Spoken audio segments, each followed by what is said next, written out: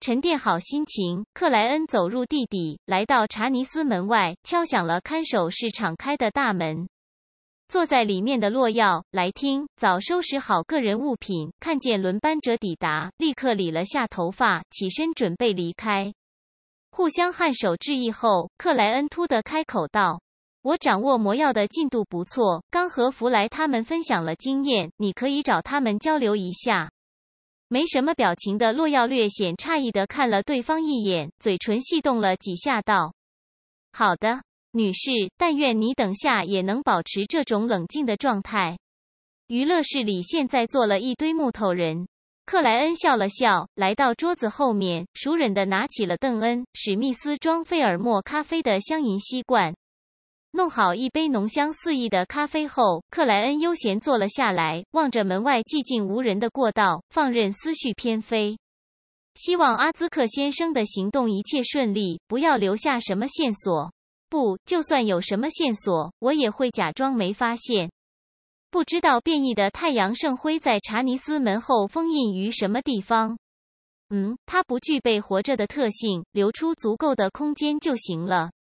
说起来，我到现在都还没进过查尼斯门，不清楚里面的状态。能够让那大大小小、奇奇怪怪的几十件封印物不造成损害、不脱离监管，肯定有不同寻常之处。比如圣塞琳娜的骨灰。各种念头纷呈间，克莱恩突然听见了急促的脚步声，忙将注意力收回，望向门口。他看见身穿黑色古典长袍、手拿同色毡帽的老尼尔出现于走廊上，快步进入看守室，立在对面，一句话不说，就那样上上下下地审视自己。双引号，尼尔先生，出了什么事情吗？克莱恩干笑两声，端起香浓的咖啡抿了一口。老尼尔又打量了他几眼，叹了口气道。你竟然从窥密人的格言和戴笠的事例里找到了灵感，这必须赞美女神，也感谢您的教导。克莱恩一本正经的回答。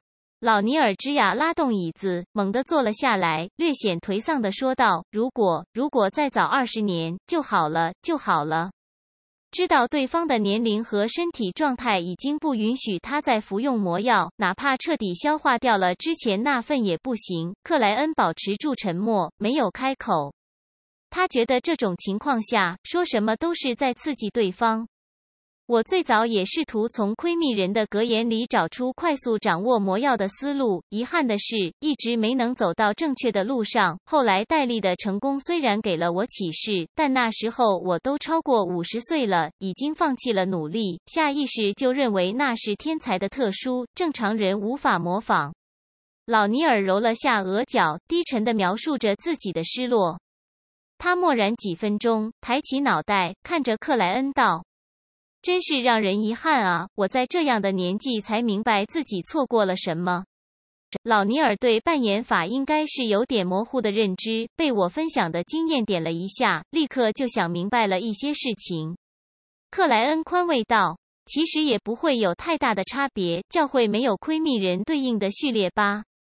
或许圣堂有，不，他们有的话，至少会把名称告诉分部。”地下交易市场也不是没可能。老尼尔呢喃了几句，以手撑桌，摇头站起，笑笑道：“至少我没有失控，健全的活了几十年。”赞美女神。他在胸口画了个绯红之月，表情沉郁的离开看守室，失去了往常的狡黠。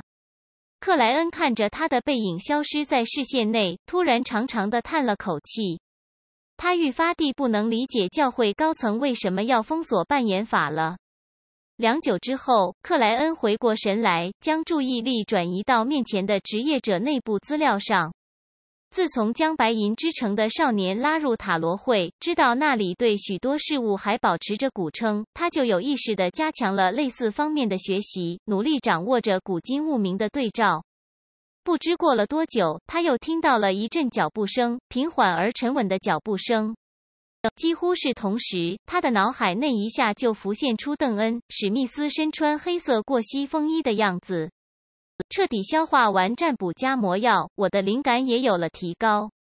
克莱恩若有所思点头，在几秒钟后看见了队长。你的信，邓恩右手抬起，腕部一抖，将掌中的信件扔向了克莱恩。克莱恩潇洒抬手，试图接住，但无论判断还是反应，都差了一点。啪！信件掉落在地，克莱恩的右手尴尬地竖立于风中。突然安静的气氛里，他的右手先是僵住，接着继续上台，顺势理了下头发。煤气灯的光芒还是不够明亮啊！克莱恩随口敷衍了一句，弯腰拾起信件，扫了眼信封。霍纳奇斯先生。达斯特·古德里安的信，他恍然点头，拉开抽屉，拿出把裁信刀。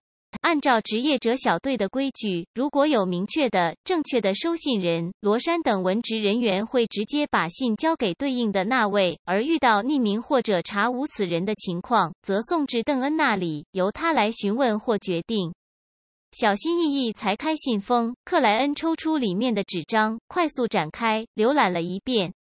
他发现疯人院医生达斯特在请求尽快见面，也就是今天下午两点。他拿到读心者配方了，或者有别的什么事情？克莱恩扬了下手中的信纸，抬头看向邓恩道：“队长，我的线人，也就是心理炼金会那位，希望在下午两点见面。有透露是什么事情吗？”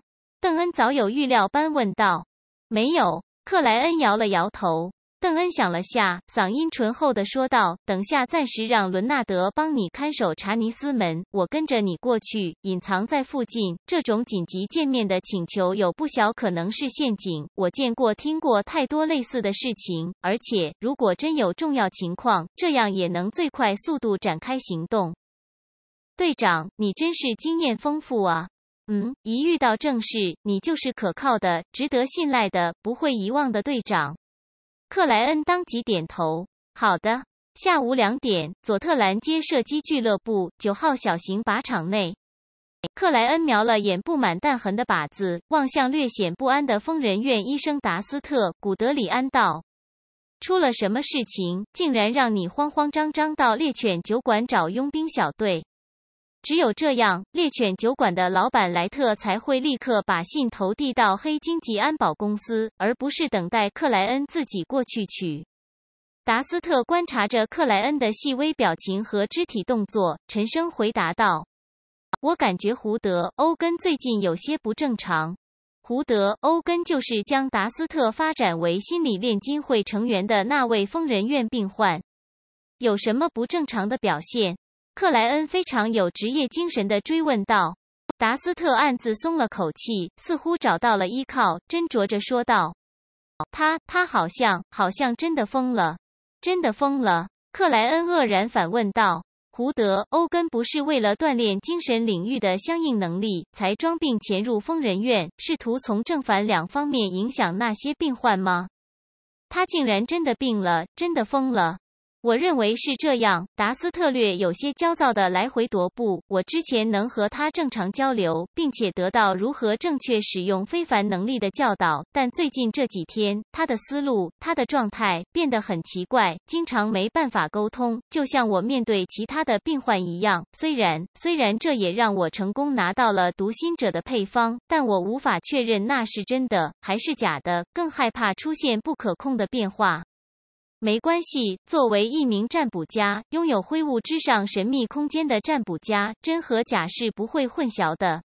克莱恩先是松了口气，继而皱眉问道：“他出现不正常前，接触过什么人？只有那些病患。我，我无法肯定。我不是每一天每一个小时都在疯人院的，我也有休息的时间。”达斯特表情沉凝的回答。克莱恩轻轻颔首，一副这是小事的样子。不用紧张，我会派人暗中保护你。你尽快弄清楚胡德·欧根之前接触过哪些人。另外，你必须小心他在试探你。呃，你最好同时把这件事情通报给别的心理炼金会成员，看你们组织的高层有什么反应。